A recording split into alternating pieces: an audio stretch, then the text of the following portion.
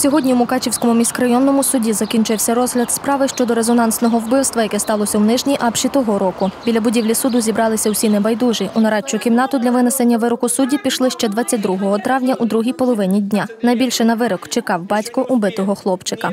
Вот смотрите, это был живой. Смотрите, вот еще, вот еще, смотрите, раз, какой он был, смотрите. Давайте вот, что он сделал. Вот, смотрите. На тілі убитого експерта зафіксували більше 20 ножових поранень. Під час досудового слідства обвинувачений зізнався у скоєному. Просить вибачення за вчинення перед своїми батьками, перед потерпілими та судом. Він шкодує, що так сталося. Підтримав позицію свого захисника щодо перекваліфікації його дій на статтю 116 КК України, по якій свою вину визнає в повному обсязі. Ствердив, що саме він скоїв даний злочин та спричинив ПОП вказані тілесні ушкодження. За словами обвинуваченого, під час сварки від Василя Попа звучали образи та провокації в його сторону, і це стало причиною жорстокого нападу. Прокурором до суду було надано висновок експерта, відповідно до якого неповнолітній обвинувачений у момент вчинення злочину перебував у стані сильного емоційного напруження. В ході сварки, яка раптово виникнула між ними в стані сильного душевного хвилювання, зумовленого явною непристойною поведінкою потерпілого поп, який висловив на адресу Турди своє ставлення до, його- до нього як до чоловіка, та на адресу дівчини, до якої обвинувачений мав почуття у формі особливого цинічного глузування. Та з врахуванням вимог закону та обставин, які пом'якшують покарання неповнолітнього та відсутності обставин, які обтяжують його покарання, суд ухвалив.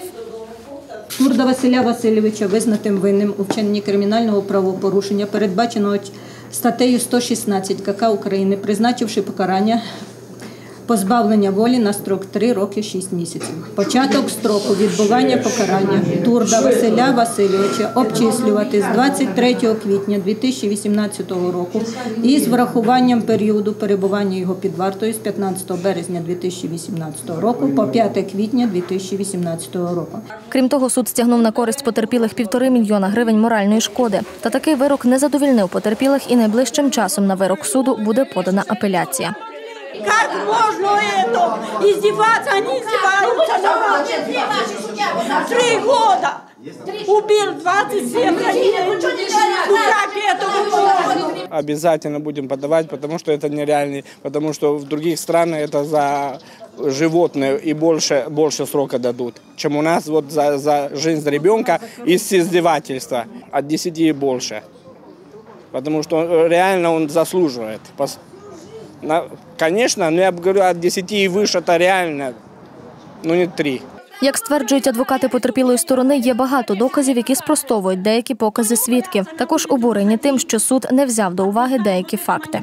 В першу чергу це е, е, відео з камери відеоспостереження, яке підтверджує той факт, що підсудній не перебував ні в якому стані сильного душевного хвилювання. Після скоєння злочину вони вдвох вийшли в двір, вдвох вони шукали. Е, Одіяло, яким потім був накритий труп.